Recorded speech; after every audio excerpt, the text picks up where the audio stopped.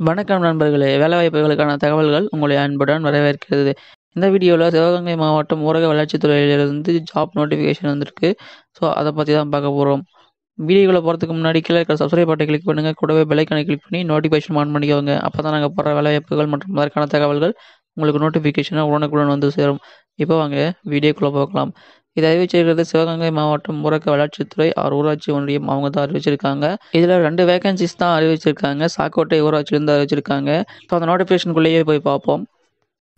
இதுதான் அந்த நோட்டிஃபிகேஷன் இதில் வந்து ரெண்டு வேகன்சிஸ் இருக்குது அலுவலக உதவியாளர் அந்த ஜாபுக்கு இதில் வந்து இன சுழற்சி இருக்கும் அப்படின்னு சொல்லியிருக்காங்க.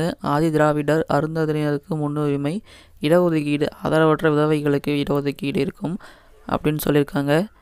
இதற்கான குவாலிஃபிகேஷன் அப்படின்னு பார்க்கும்போது எட்டாவது படிச்சிருந்தா போதும் அப்படின்னு சொல்லியிருக்காங்க. பட்டு மிதிவண்டி அதாவது சைக்கிள் ஓட்ட தெரிஞ்சிருக்கணும் அப்படின்னு சொல்லியிருக்காங்க.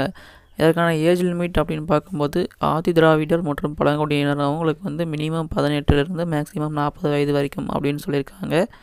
மிகவும் பிற்படுத்தப்பட்டோர் மற்றும் சீர்மரபினர் அவங்களுக்கு minimum eighteen and maximum thirty two அப்படின்னு சொல்லியிருக்காங்க.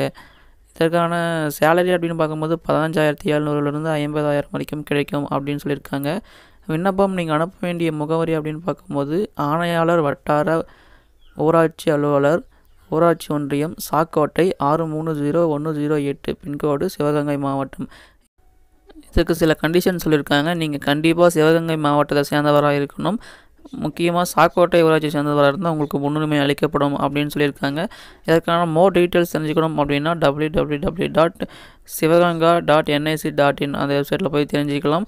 பத்தொம்போது மூணு ரெண்டாயிரத்தி இருபது அன்னைக்கு சாயந்தரம் அஞ்சு நாற்பத்தஞ்சுக்குள்ளே நீங்கள் வந்து அங்கே அப்ளிகேஷன் சேர்கிற மாதிரி அனுப்பிடுங்க. அப்போ தான் அது ஏற்றுக்கொள்ளப்படும். அதற்கான அப்ளிகேஷன் ஃபார்ம் அதுவும் கொடுத்துருக்காங்க. ஸோ அப்ளிகேஷன் ஃபார்மோட லிங்க் நோட்டிஃபிகேஷனோட லிங்க் டிஸ்கிரிப்ஷனில் தரேன். கண்டிப்பாக நீங்கள் சிவகங்கை மாவட்டத்தில் இருந்தீங்கன்னா இதுக்கு நீங்கள் அப்ளை பண்ணலாம்.